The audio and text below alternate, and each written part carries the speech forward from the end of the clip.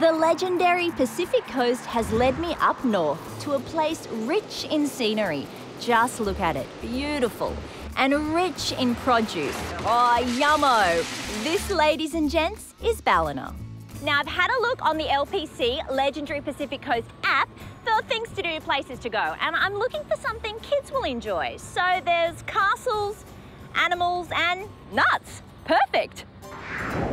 Driven past the Macadamia Castle before but never stopped, then next time you must because they do things really well here and you're going to have some pretty amazing experiences.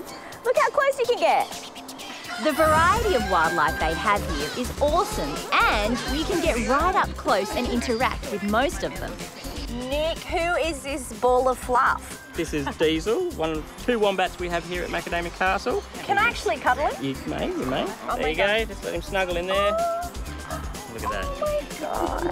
Now you got a friend for life. From the extremely cute to, well, not so cuddly. There's pythons who are wrapped with all the attention, but the real star is Snap, the baby saltwater crocodile. I've been bitten by this little one here and my finger was stuck in its mouth for about 10 to 15 minutes and physically you can't open its jaws.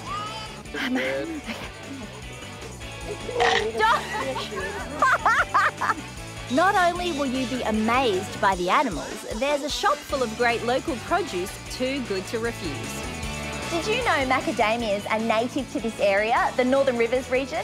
And with 12 different flavours, choosing just one will send you nuts. So I'll go um, wasabi, please. And then I'll go chili. And then can I have lime and black pepper? Oh, and the Moroccan too. That place is nuts. Now, where am I going to stay tonight?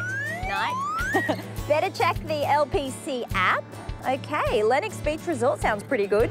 Water views, seafood. This sounds like my kind of place. Let's go.